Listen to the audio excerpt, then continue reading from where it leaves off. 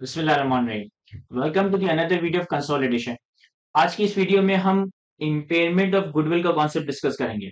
हमने अपनी लास्ट दो वीडियोस में बिज़नेस कॉम्बिनेशन के नतीजे में जो गुडविल अराइज हुई, उसके हवाले से डिस्कशन की थी कि गुडविल को हम किस तरह से अकाउंट फॉर कर सकते हैं गुडविल को हम किस तरह से वर्कआउट कर सकते हैं। तो बेसिकली गुडविल के लिए और नॉन कंट्रोलिंग इंटरेस्ट के लिए हमारे पास दो मैथड्स अवेलेबल थे। हम चाहें तो नॉन कंट्रोलिंग इंटरेस्ट को सब्सिडरी के आइडेंटिफाइबल एंड एसेट्स के प्रोपोर्शनेट शेयर पे कैरी कर सकता है। इस केस में हमारे पास जो गुडविल अलाइज होती है, उसे हम पार्शियल गुडविल कहते हैं। चाहे तो एनसीआई को फेयर वैल्यू पे कैरी कर सकते हैं मेजर कर सकते हैं तो इस केस में हमारे पास जो गुडविल वर्कआउट होती है, वो हमारे पास फुल गुडविल मेथड कहलाई जाती है। अभी जो गुडविल आपने एक बिज़नेस कॉम्बिनेशन में एज एसेट कैपिटलाइज की, ये आपका एक एसेट है, क्योंकि इससे आपको एक फ्यूचर इकोनॉमिक बेनिफिट मिलेंगे। तो हमें as per I thirty six इसकी एनुअल इम्पेमेंट टेस्टिंग करनी है। थर्टी सिक्स ये कहता है कि कुछ एसेट्स पे एनुअल इम्पेमेंट टेस्टिंग और कुछ एसेट्स पे इंडिकेटर बेस्ड इम्पेयरमेंट टेस्टिंग की जाती है। जब भी इंटरनली एक्सटर्नली इंडिकेटर्स हो आपका एसेट इम्पेयर हो गया तो आपको इम्पेयरमेंट टेस्टिंग करनी पड़ती है। कुछ एसेट्स ऐसे भी हैं जिनकी एनुअल इम्पेयरमेंट टेस्टिंग की जाती है। आई थर्टी सिक्स के हिसाब से अगर एक एसेट की कैरिंग अमाउंट उसकी रिकवरेबल अमाउंट को एक्सीड कर जाए तो हम कहते हैं कि हमारा एसेट इम्पेयर हो गया। ये जो बिज़नेस कॉम्बिनेशन में आपने गुडविल को रिकॉग्नाइज किया है, आप इसकी एनुअल इम्पेयरमेंट टेस्टिंग करोगे इरिस्पेक्टिव कि आपके पास कोई any specific indicator impairment exist करता है या नहीं हमने हर साल इसकी लाजमी इम्पेयरमेंट टेस्टिंग करनी है। ये जो गुडविल की इम्पेयरमेंट है, का एग्जामिनर एज अ परसेंटेज दे सकता है कि आपकी गुडविल टेन परसेंट से ट्वेंटी परसेंट से या थर्टी परसेंट से इम्पेयर हो गई है। तो जो भी गुडविल का आपने नंबर वर्कआउट किया, उस पर आप परसेंटेज अप्लाई करोगे तो आपके पास इम्पेयरमेंट का नंबर आ जाएगा। इसी तरह से आपका एग्जामिनर गुडविल की इम्पेयरमेंट का आपको मॉनिटरी अमाउंट दे सकता है कि आपकी goodwill 200 currency units 300 currency unit से इम्पेयर हो गई है। तो जो भी गुडविल आपने वर्कआउट किया अकॉर्डिंगली आप उसे इम्पेयरमेंट के अमाउंट से रिड्यूस कर दोगे। सवाल ये क्रिएट होता है कि अगर आपने गुडविल को रिकॉग्नाइज किया और सब्सिक्वेंटली वो गुडविल आपकी इम्पेयर हो जाती है तो इस इम्पेयरमेंट को हमने बिटवीन दी पेरेंट और नॉन कॉन्ट्रोलिंग इंटरेस्ट किस तरह से अकाउंट फॉर करना है, किस तरह से डिस्ट्रीब्यूट करना है। तो ये सारी चीज़ें डिपेंड करती है कि आपने अपने कंसोलिडेटेड फाइनेंशियल स्टेटमेंट्स में नॉन कंट्रोलिंग इंटरेस्ट को किस तरह से मेजर किया? अगर तो हमने नॉन कंट्रोलिंग इंटरेस्ट को proportionate share of fair value of net identified asset में मेजर किया है। यानी कि हमने goodwill subsidy as a whole नहीं, सिर्फ़ करंट के पोर्शन की गुडविल को वर्कआउट किया, यानी कि पार्शियल गुडविल मेथड के तहत अगर हम सॉल्व करें चीज़ों को तो इस केस में गुडविल की अगर जो भी इंपेयरमेंट आएगी, वो सारी की सारी इंपेयरमेंट ग्रुप रिटेन अर्निंग्स में डेबिट हो रही होगी, यानी कि सारा का सारा इंपेयरमेंट का बर्डन पेरेंट का लोकेट किया जाएगा। पेरेंट उस गुडविल की इंपेयरमेंट का बर्डन बर्दाश्त कर रहा होगा। हमारी सिंपल जनरल जनरल एंट्री होगी कि हम ग्रुप रिटेन अर्निंग्स को डेबिट कर रहे होंगे, यानी कि कम कर रहे होंगे। अगर हम पीएनएल बना रहे होते हैं तो हम प्रॉफिट एंड लॉस को डेबिट कर रहे होते। हैं हम बैलेंस शीट बना रहे होंगे तो हम रिटेन अर्निंग्स को डेबिट कर रहे होंगे। और दूसरी तरफ़ जो हमने पार्शियल गुडविल कैलकुलेट किया उसे हम क्रेडिट कर रहे होंगे। इसी तरह से अगर हम एनसीआई को फेयर वैल्यू पे मेजर करें, यानी कि फुल गुडविल मेथड के तहत अपनी वर्किंग लेके चले तो फुल गुडविल मेथड में जो आपने गुडविल वर्कआउट की है, वो पेरेंट की भी है, वो एनसीआई की भी है। आपने सब्सिडी की हंड्रेड परसेंट गुडविल आपने सब्सिडी की टोटल गुडविल को मेजर किया हुआ है। इस केस में अगर आपके पास इम्पेयरमेंट आती है तो जो भी इम्पेयरमेंट होगा, उसे आप पेरेंट और सब्सिडी में पेरेंट और एनसीआई में डिस्ट्रीब्यूट कर दोगे उनकी शेयर होल्डिंग परसेंटेज में। फॉर एग्ज़ाम्पल कि एक पेरेंट की सब्सिडी कंपनी में 80 परसेंट शेयर होल्डिंग है 20 परसेंट एनसीआई है। तो जो भी इम्पेयरमेंट का मॉनिटरी अमाउंट आएगा, उसे भी आप 80 20 कर दोगे 80 परसेंट ट्वेंटी परसेंट में डिस्ट्रीब्यूट कर दोगे। जो 80 परसेंट बर्डन है वो पेरेंट बर्दाश्त करेगा पेरेंट बियर करेगा तो पेरेंट की ग्रुप रिटेन अर्निंग्स डेबिट हो रही होगी। जो ट्वेंटी परसेंट बर्डन है, वो एनसीआई बर्दाश्त करेगा तो एनसीआई का नंबर डेबिट हो रहा होगा अकॉर्डिंगली हमारी इम्पेयरमेंट से गुडविल क्रेडिट हो जाएगी। तो सिंपल सा कॉन्सेप्ट है गुडविल की इम्पेयरमेंट के हवाले से। फुल गुडविल मेथड में गुडविल की इम्पेयरमेंट पेरेंट एनसीए दोनों में डिस्ट्रीब्यूट होगी। पार्शियल गुडविल मेथड में गुडविल की इम्पेयरमेंट सिर्फ़ और सिर्फ़ पेरेंट को डिस्ट्रीब्यूट होगी। इन एनी केस चाहे पार्शियल गुडविल मेथड हो, चाहे फुल गुडविल मेथड हो, एक इंपॉर्टेंट बात याद रखिएगा कि अगर गुडविल को आपने एक दफ़ा इम्पेयर कर दिया तो सब्सिक्वेंटली गुडविल की इम्पेयरमेंट का रिवर्सल आई स्टेटिस्टिक्स में अलाउ नहीं है। आई स्टेटिस्टिक्स में हम ये पढ़ते हैं कि जब भी एसेट की रिकवरेबल अमाउंट की कैरिंग अमाउंट से कम होगी, आप अपने एसेट को इम्पेयर कर दोगे। सब्सिक्वेंट रिपोर्टिंग पीरियड पे अगर रिकवरेबल अमाउंट इंक्रीज हो जाए तो हमने जो पास में इम्पेयरमेंट रिकॉर्ड किया उसे हम रिवर्स भी कर सकते हैं। लेकिन गुडविल क्या पॉलिसी रूल ये है कि goodwill once impair can never be reverse एक एक साल में आपने अगर गुडविल को इम्पेयर कर दिया सब्सिक्वेंटली अगर पॉजिटिव इंडिकेटर्स भी आते हैं रिकवरेबल अमाउंट इंक्रीज भी हो जाती है गुडविल की इम्पेयरमेंट का रिवर्सल आई एस में अलाउ नहीं किया गया है। तो ये सिंपल सा कॉन्सेप्ट था इम्पेयरमेंट ऑफ़ गुडविल के हवाले से।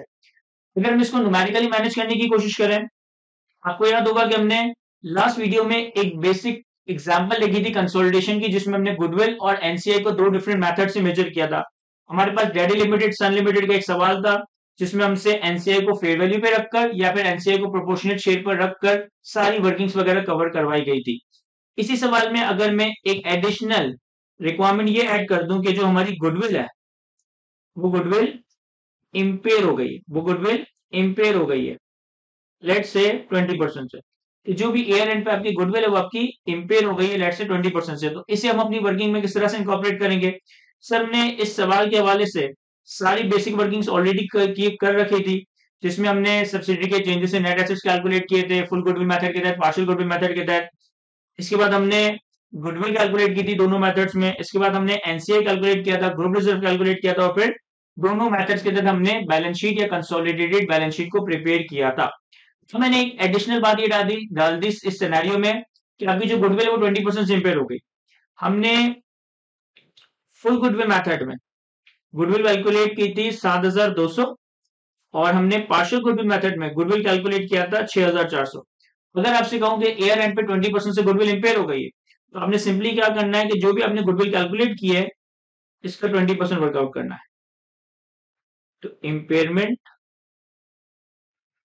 एट ट्वेंटी परसेंट तो ये आ जाएगा हमारे पास गुडविल एट रिपोर्टिंग डेट इसी तरीके से फुल गुडविल मेथड में भी इम्पेयरमेंट एट ट्वेंटी परसेंट तो ये हमारे पास गुडविल आ जाएगा एट रिपोर्टिंग डेट अब देखिए रशियन गुडविल मेथड में हमारी गुडविल वर्कआउट हुई थी 6400 में। 6400 का 20 परसेंट कर दूँ तो ये आ गया 1280 तो 1280 से अगर गुडविल इंपेयर हो जाए तो हमारी गुडविल रह कितनी जाएगी? 6400 माइनस 1280 तो ये आ गया 5120 और अगर फुल गुडविल मेथड हो तो हमारी गुडविल वर्कआउट हुई थी 7200 7200 का अगर हम 20 परसेंट करें तो ये आता है 1440 तो हमारी जो गुडविल रह जाएगी, वो रह जाएगी सात हज़ार दो सौ माइनस चौदह सौ चालीस, पाँच हज़ार सात सौ साठ। ठीक है? दोनों मेथड में ऑब्वियसली गुडविल का नंबर डिफरेंट है तो twenty percent of goodwill impairment का नंबर डिफरेंट आएगा। स्पेशल गुडविल मेथड में जो आपने ये इंपेयरमेंट वर्कआउट किए ना ये सारी की सारी इंपेयरमेंट पेरेंट के हिस्से में जाएगी। यानी सा, सारा का सारा इंपेयरमेंट का बर्डन पेरेंट बर्दाश्त करेगा सारी की सारी इंपेयरमेंट आप ग्रुप रिटेन अर्निंग्स में लेके जाओगे। लेकिन फुल गुडविल मेथड में जो आपने इंपेयरमेंट का नंबर वर्कआउट किया था वन डबल फोर ज़ीरो ये फुल गुडविल मेथड की इंपेयरमेंट है ये पेरेंट और एनसीआई दोनों में डिस्ट्रीब्यूट होगी। तो इस सवाल में पेरेंट और एनसीआई की जो शेयर होल्डिंग परसेंटेज थी, वो थी एटी ट्वेंटी यानी पेरेंट का शेयर था एटी परसेंट एनसीआई का शेयर था ट्वेंटी परसेंट तो आपने ये जो चौदह सौ चालीस की इंपेयरमेंट को वर्कआउट किया, इसे भी आप एट्टी परसेंट ट्वेंटी परसेंट में ब्रेक कर दोगे। तो एट्टी परसेंट आ जाएगा वन वन फाइव टू और ट्वेंटी परसेंट आ जाएगा one double four zero into twenty percent two double eight हमने इम्पेमेंट का नंबर वर्कआउट कर लिया पैरेंट और एनसीआई का वर्कआउट कर लिया। और फुल गुडविल मेथड में सॉरी पार्शियल गुडविल मेथड में हमारी इम्पेमेंट का नंबर वर्कआउट हुआ था वन टू एट ज़ीरो ये सारी के सारी इम्पेमेंट हमें देनी है पेरेंट को। तो मैं क्या करता हूँ कि जो हमने ग्रुप रिज़र्व का नंबर वर्कआउट किया है, इस ग्रुप रिज़र्व के नंबर में इम्पेमेंट को लेस कर देता हूँ। लेस इम्पेयरमेंट ऑफ़ गुडविल चूँकि पार्शियल गुडविल मेथड है तो सारी की सारी इम्पेयरमेंट पेरेंट के हिस्से में जाएगी ग्रुप रिटेन अर्निंग्स को कम करेगी। वन टू एट ज़ीरो तो हमारे पास ग्रुप रिज़र्व का रिवाइज नंबर आ जाएगा। ये आ जाएगा हमारे पास ninety thousand plus four thousand minus one two eight zero nine two seven two zero sir full goodwill method में हमने इम्पेयरमेंट वर्कआउट किए total one double four zero जिसमें पेरेंट कैसा है one one five two NCA कैसा है to double eight NCA के हिस्से में मैं इम्पेयरमेंट का हिस्सा माइनस कर देता हूँ। Less impairment of goodwill that is two double eight तो एनसीआई का जो रिवाइज नंबर आ जाएगा एट द रिपोर्टिंग डेट आ जाएगा, बीस हज़ार दो सौ माइनस टू डबल एट तो ये आ गया one nine nine one two और इसी तरीके से पेरेंट का जो हिस्सा है डबल वन फाइव टू इसे हम ग्रुप रिज़र्व में पार कर देते हैं।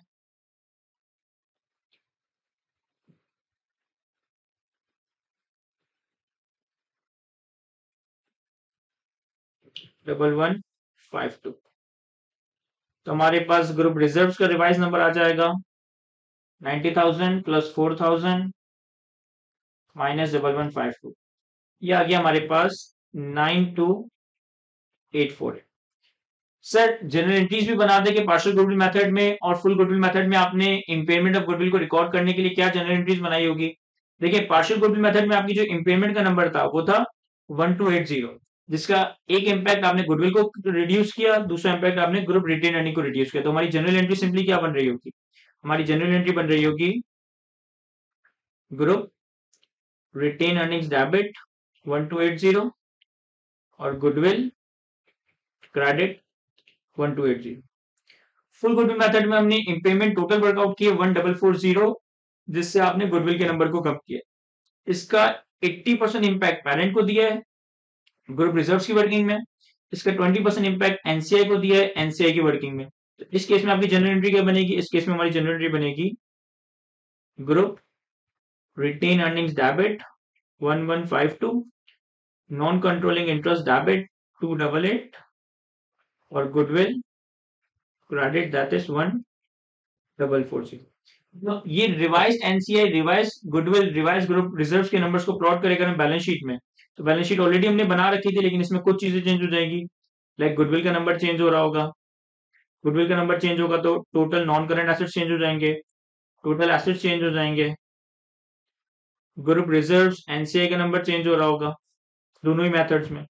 और अकॉर्डिंगली टोटल इक्विटी और लाइबिलिटीज भी हमारी चेंज हो रही होगी। अब मैं रिवाइज नंबर्स को प्लॉट करता हूँ। सर गुडविल आपने कैलकुलेट की है पार्शियल गुडविल मेथड में 5120 आफ्टर इम्पेयरमेंट तो 5120 की हम गुडविल प्लॉट कर देते हैं।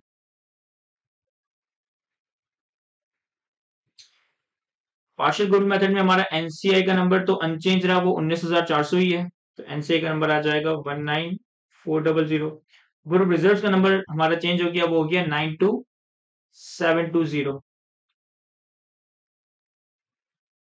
तो nine two seven two zero मैं टोटल करूँ अगर।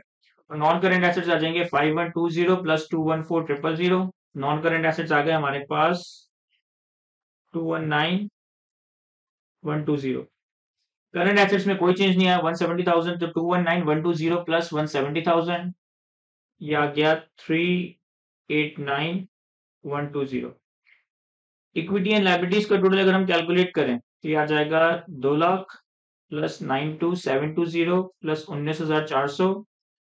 प्लस बावन हज़ार प्लस पच्चीस हज़ार। तो ये आ गया three eight nine one two zero. ये हमारी पार्शियल गुडविल मेथड के तहत जो गुडविल थी जो बैलेंस शीट थी, वो हमारी रिकनसाइल है।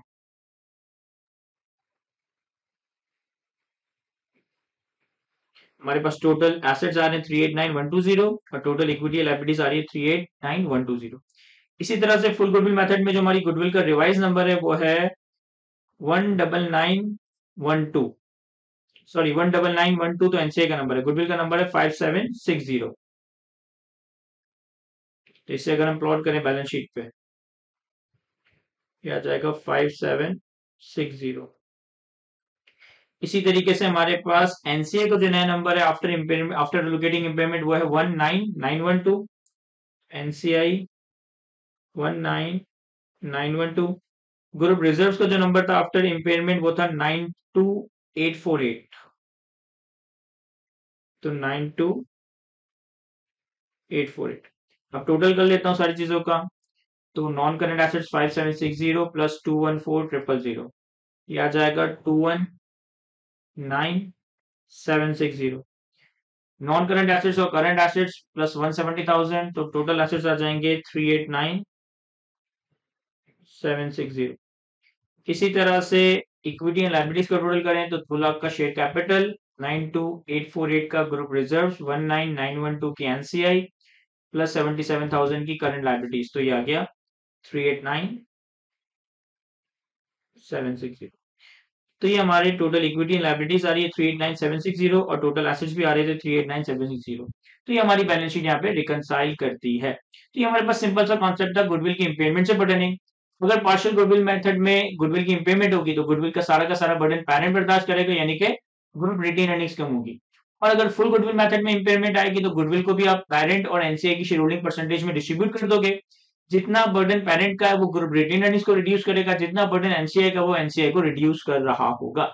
एक छोटा सा सवाल आपके जहन में ये आ सकता है कि, सर, जब पार्शियल गुडविल मेथड के तहत वर्किंग कर रहे थे, जब पार्शियल गुडविल मेथड के तहत वर्किंग कर रहे थे यानी कि सिर्फ़ पेरेंट के हिस्से की गुडविल कैलकुलेट की थी और गुडविल ट्वेंटी परसेंट से इम्पेयर हो गई तो आपका गुडविल की इम्पेयरमेंट का नंबर वर्कआउट हुआ है वन टू एट ज़ीरो जब आपने फुल गुडविल मेथड के तहत गुडविल वर्कआउट की तो टोटल गुडविल तो आई वन डबल फोर ज़ीरो लेकिन इसका पेरेंट का जो पोर्शन आया, वो आया वन वन फाइव टू अगर पेरेंट का पोर्शन एट्टी परसेंट है तो पेरेंट का पोर्शन पार्शियल गुडविल मेथड के तहत जो हमने इम्पेयरमेंट कैलकुलेट की है उसे मैच नहीं करना चाहिए।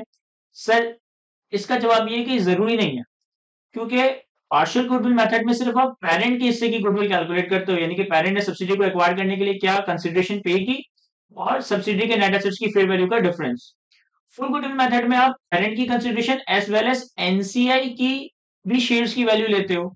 तो ज़रूरी नहीं है कि पेरेंट ने सब्सिडी को एक्वायर करने के लिए जो पर शेयर कंसिडरेशन पे की हो, वो एनसीआई की भी पर शेयर फेयर वैल्यू के बराबर क्या मतलब? देखें इस सवाल में जो सब्सिडी है, इसका टोटल शेयर कैपिटल कितना है? एट्टी थाउज़ेंड ठीक है? पेरेंट ने कितना किया? सिक्सटी फोर थाउज़ेंड यानी कि इस eighty four thousand eighty thousand share में से sixty four thousand share parent ने एक्वायर किए बाकी के जो सिक्सटीन थाउज़ेंड शेयर है, वो एनसीआई के ठीक है? तो अगर आप पेरेंट की 80 परसेंट कॉस्ट ऑफ़ इन्वेस्टमेंट देखो तो वो आ रही है अस्सी हज़ार। तो अगर मैं पर शेयर कॉस्ट निकालू तो वो कितनी होगी? अस्सी हज़ार divided by sixty four thousand यानी पेरेंट ने sixty four thousand share acquire किए एटी थाउज़ेंड के। तो यानी कि पेरेंट ने एक तरह से एक शेयर एक्वायर किया है वन पॉइंट टू फाइव का। फुल गुडविल मेथड में भी पेरेंट ने अस्सी हज़ार रुपए के चौसठ हज़ार शेयर एक्वायर किए, यानी कि वन पॉइंट टू फाइव लेकिन एनसीआई के जो सोलह हज़ार शेयर है एनसीआई के जो सोलह हज़ार शेयर है, उनकी जो वैल्यू है वो कितनी है? वन पॉइंट टू तो चूँकि पेरेंट और एनसीआई की पर शेयर कॉस्ट या पर शेयर फेयर वैल्यू सेम नहीं होती में जो डेफिनेट कैलकुलेट होता है फुल गुडविल मेथड या पार्शियल गुडविल मेथड में, वो सेम रेशियो में कैलकुलेट नहीं होता। इसी वजह से जो इम्पेयरमेंट है पार्शियल गुडविल मेथड में पेरेंट का हिस्सा कितना है? वन टू एट ज़ीरो लेकिन ज़रूरी नहीं है कि फुल गुडविल मेथड में भी जो इम्पेयरमेंट इनटू पेरेंट परसेंटेज निकाले तो उससे एग्जैक्टली मैच कर रहा हो। तो यहाँ पे, यहाँ तक हमारा सिंपल सा इम्पेयरमेंट ऑफ़ गुडविल का कॉन्सेप्ट कंप्लीट होता है। आई होप कि मैं आपको अच्छे से एक्सप्लेन कर सका हूँ। आज के इस लेक्चर को यहीं तक रखता है। Thank you